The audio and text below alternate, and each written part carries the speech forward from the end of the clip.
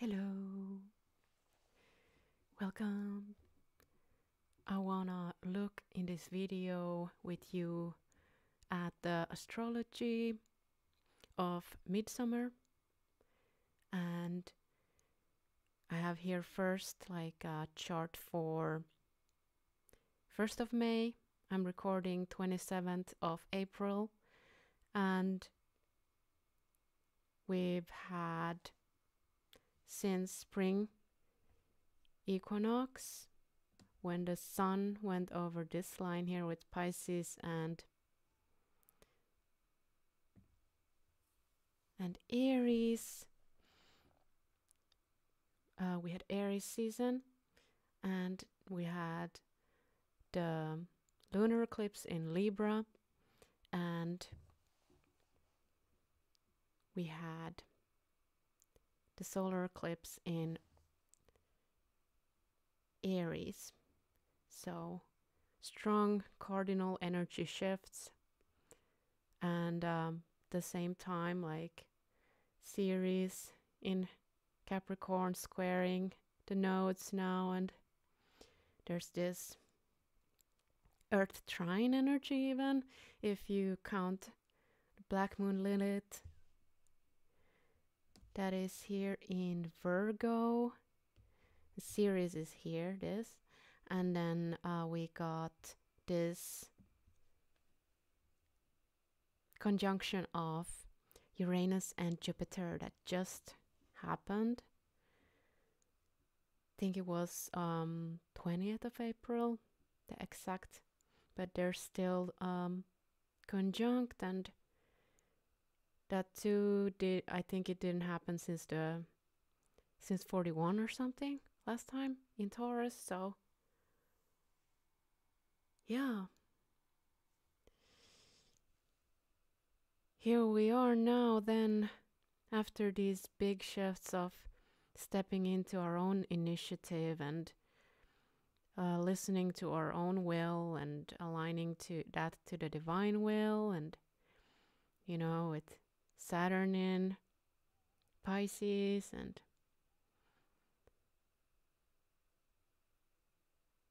and uh, now we've arrived in Taurus season. We've got Venus stepping into Taurus soon to her home sign she also overrules Libra, though, which is like the south node there.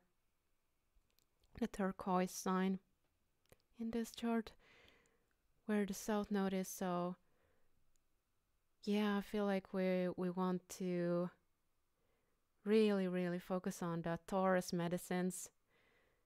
I mean that that always applies to Pluto Scorpio generation, but I feel like for everyone, man, there's there's so much change and it can feel daunting and, and like unstable if we don't get like to calm our, ourselves down like through the, the sensual experience.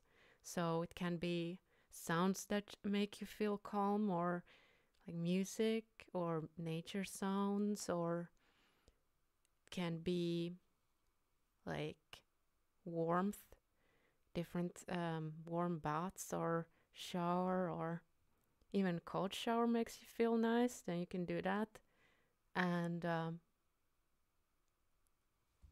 yeah, different things like this, or like good, nutritious food, and being in an environment that's calm and diverse and nice. Yeah, Taurus, Taurus season. Right now, when I'm recording this, so yeah have, have a great um, Beltane, 1st of May. We call it Vappu here. But in Finland, where I am. But yeah, then we um, the moon. So this circle with the spot in the middle, it's gonna move here through Gemini still, and then reach here. The the white arrow that I have and that's when it's midsummer. So, we're gonna look at that for a bit longer. That's the idea. Okay. Here we go. Sun is in Cancer on Midsummer Day. Moon is opposite in Capricorn. These two signs are also cardinal signs and they form the grand cardinal cross together with Aries and Libra. Aries, Cancer, Libra, and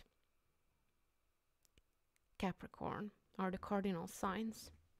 And they're forming this grand cross, or you could say square, but I like to think of it as a cross because when we have a cross, there's like lines going through from the opposite sign to the opposite sign, and like that, instead of just a square where they're like a bit, it feels more chunky.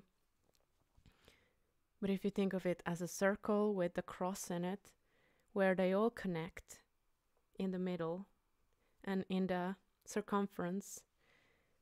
And I think like with with astrology when you get a bit further into it when you start to know about all the different signs then you start to make the connections like how they work together. And i think that's a good focus to have with the transits too and with like when working with your own charts like how can all these different energies through the aspects and everything like work together and form a functioning whole that can help you express your soul. And uh, the more deeper meanings in life. So yeah that's like the first thing that this makes me think of. And because the moon is opposite the sun that means it's a full moon. So we're gonna have a full moon on this midsummer day around that time so that's that's kind of cool always like love the midsummer time um, we gather at my dad's house and some friends come over and we uh, grill some food and uh, enjoy the summer and the, the light, the long days. Yeah. Full moon. So we've got Venus and Mercury right there in early Cancer with this this sun and uh, during this full moon. And really, I guess it's about really communicating about our relations, kind of illuminating where where we need to find that Capricorn in ourself,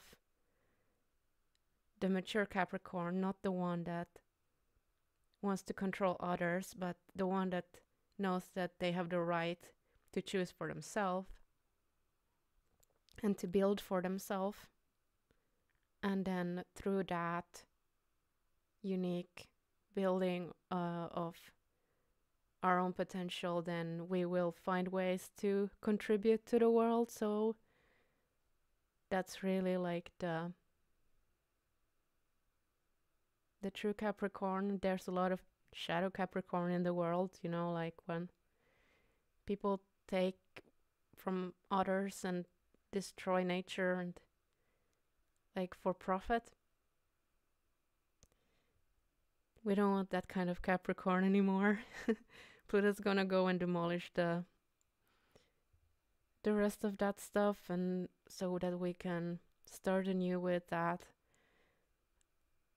Pluto's gonna retrograde into the final degree of of Capricorn still end of the year for a few months and you can well, ex- I expect more things to come into light of like misuse of power, and that doesn't mean that things are getting worse necessarily. It just means we're becoming more aware of it, and we're becoming aware of it so that we can change it. Okay. Yeah. So yeah, and like Cancer, the fourth house where where the sun is then with Venus, with Mercury, it's like the fourth house is our home. It's it's like where we feel emotionally safe. And yeah, I don't know about you guys, but usually for midsummer there's this tradition to spend it with family, spend it like at a cottage in the woods or at the lake or something like that, like low stress environment, the people who are closest to you with you and enjoy the summer day and night. That is not very long here, but yeah, short short nights, long days. Yeah. Gonna be interesting like Venus too is like still now at the final degree, I think, of Aries when I'm recording this. So she's gonna go through, like the sun too is going through Taurus and Gemini still. So we're gonna have the grounding in our relations going on and then like communications going on and bringing awareness to these things through Taurus season, Gemini season, and then in Cancer season is going to be like really bringing it home to our yeah, our family relations, everything that we've learned about these cardinal directions, bringing that all into the fold and our own will in Aries, our grounding in Taurus, and our communications in Gemini. And then bringing all that home on midsummer.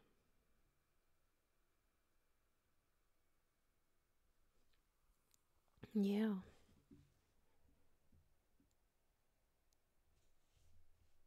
Also, this full moon, when it will move forward from from this midsummer day during and um I guess the, the coming days after it's gonna conjunct Pluto in Aquarius. So it's also bringing like that change of Pluto very much like into into illumination and Pluto in Aquarius.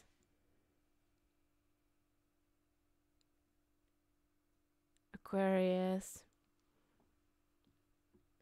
I like to think is it's more more than like the the bringer of change. It's really like it's the kind of the divine mind or the the mind of the soul or how you could say that sees like the the natural flow of things that things need to change yes. But also like is guided by something greater like a greater vision. And that sees like how things all things are connected to each other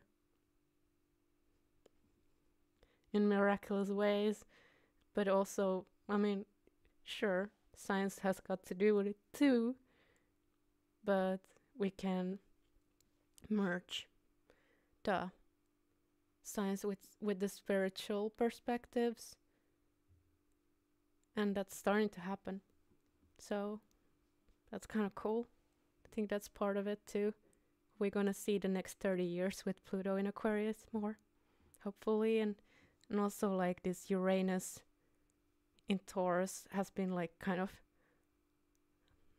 I guess, bringing to awareness the the ways in which, which we are not taking care of Taurus very well, our environment. Because our environment is part of our extended body, kind of. So I hope that this new Uranus uh, Jupiter cycle is going to be where we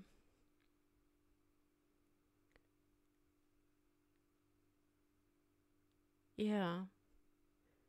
Learn to look at it more from from from that kind of lens that we are. Only here thanks to the diverse natural environment that we have.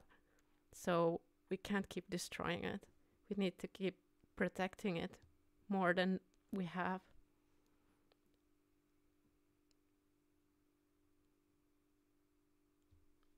I hope so.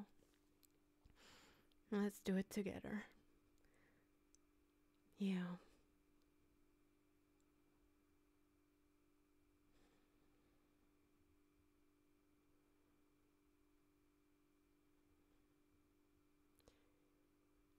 Yeah. I could still say about Ceres and and uh, you know Ceres is here in the purple circle the sickle kind of symbol at 17 of Capricorn. And then we have here in Virgo, we got Juno and Black Moon Lilith. I have all the, the three um, points for her in the chart because I, it reminds me of the triple goddess form of the dark goddess. And, you know, like the dark goddess is linked to the subconscious mind and it's like in charts it, it can represent like where where you have some repression going on where something like in you was repressed and then that led to that you yourself your subconscious it was safer for you to suppress that in yourself as well. So then that pattern stays with us sometimes for a longer time. But then, uh, if we can become aware of it, then we can start to, yeah, to free ourselves from that pattern and create a better pattern for relating to that energy. So, we've got it here in in Lib uh, no not Libra sorry um, Virgo collectively at the moment so with Virgo it could be as an example we could have that uh, your your unique gifts um, are not have not been appreciated. And then uh, instead you had to like just provide the kind of service and help to others that they needed but it wasn't your calling. And another uh, version might be that you're trying to do it so perfectly that you hold yourself back because it's not good enough because Virgo can be kind of like stuck in that perfectionism, like it has to be perfect or I won't do it at all. But yeah, a healthy Virgo then uh, would be like you you recognize your own gifts and then you refine it with feedback from others. And uh, you find that where where does it meet with the needs of the community? What can you do? What is your uh, god-given gifts innate gifts that you can bring of to others that they need and they appreciate? And then they can help you by um, giving something in return to you again so I feel like Juno, who is like the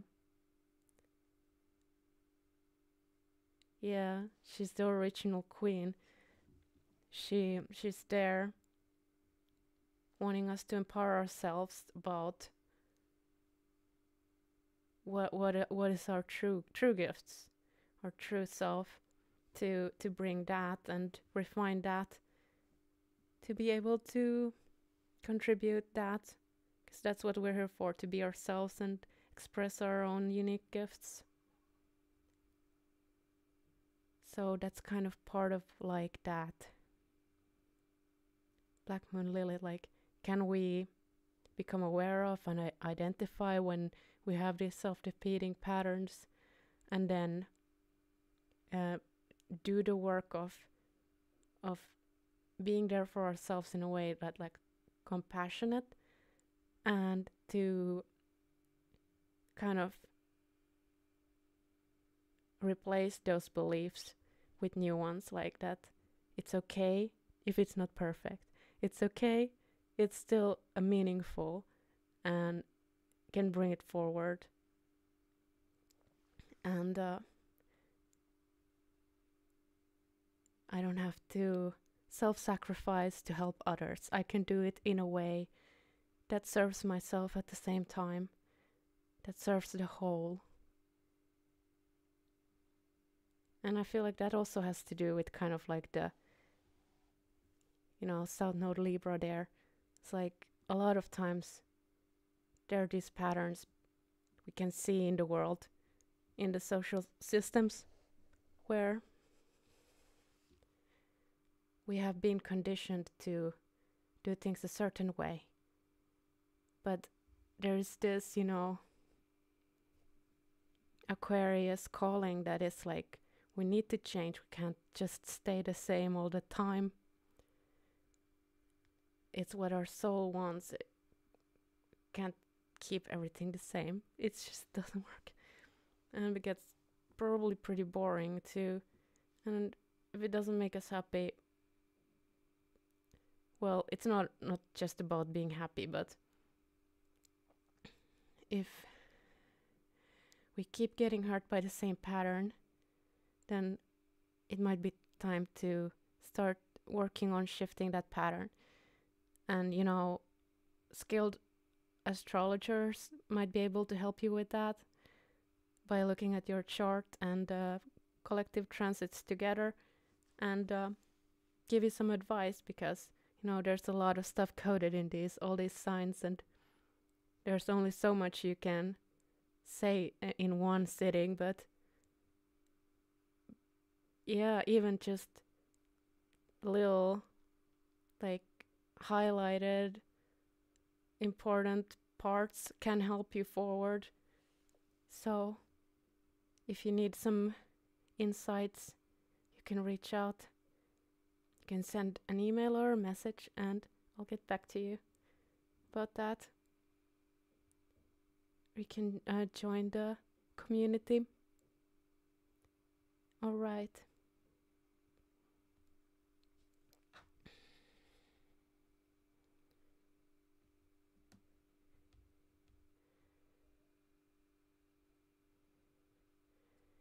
Yeah. Pisces is opposite to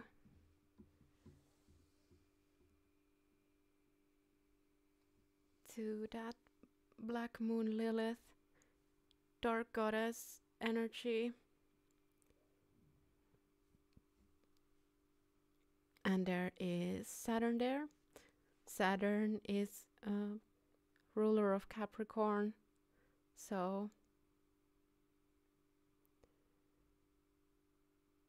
it's gonna be there still for I think was it for a year or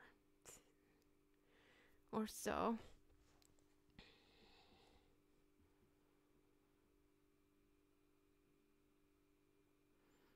Yeah can we align like our uh, societal structures with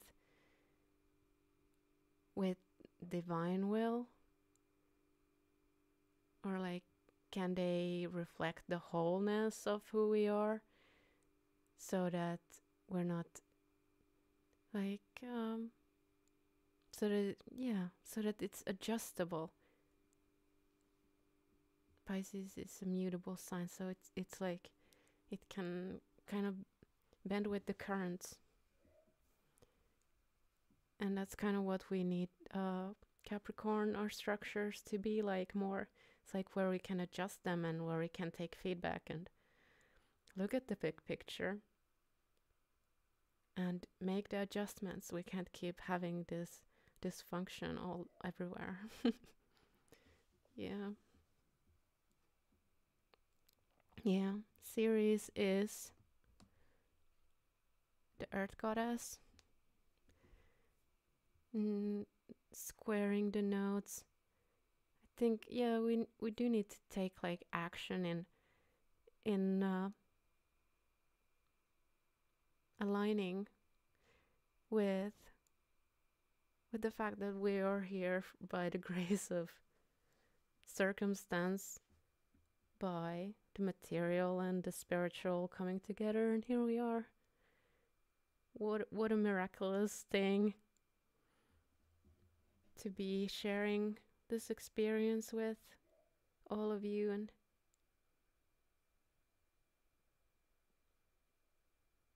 I think that if we can come to gratitude and and to into like honoring what we do have we have still diverse nature even if it's like not as widely dispersed as which would hope but we can we can change that. We can start to add hedgerows to the fields and have those wildlife corridors and and change how we farm and we can have small farms that can grow local food and have uh, people owning small pieces of land. I mean that would be so great again to to have that diversity and that would make you know the crops would be diverse and uh, we could find best practices with how to do it and the local uh, foods that that traditionally already we know of we can you know make that happen more. We don't have to import and export so much. We can live on the land that we live on. we we are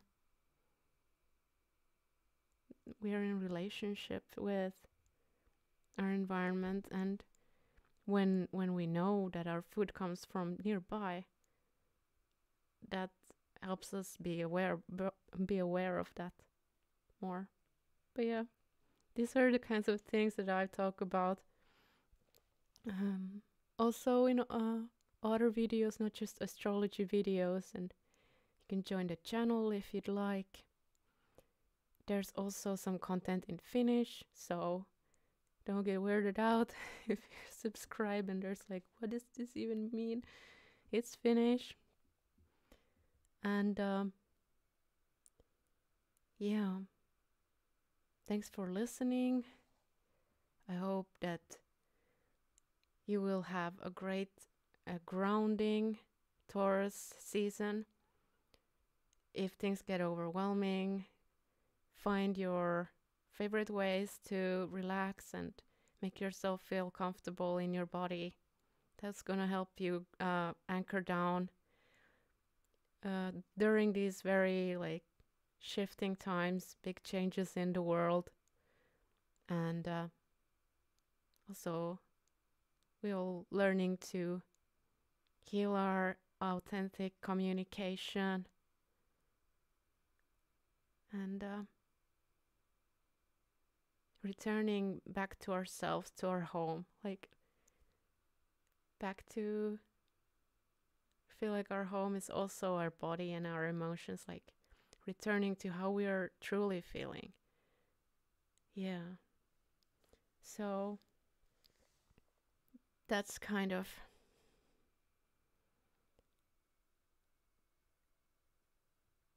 what I'm seeing here.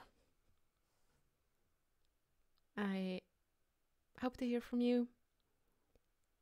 Please like and share this if, if you find it interesting. And uh, yeah, I'll see what what I think of next time to make. I have some tarot videos too and about the garden and yeah, forest garden stuff. Yeah. Okay, see you.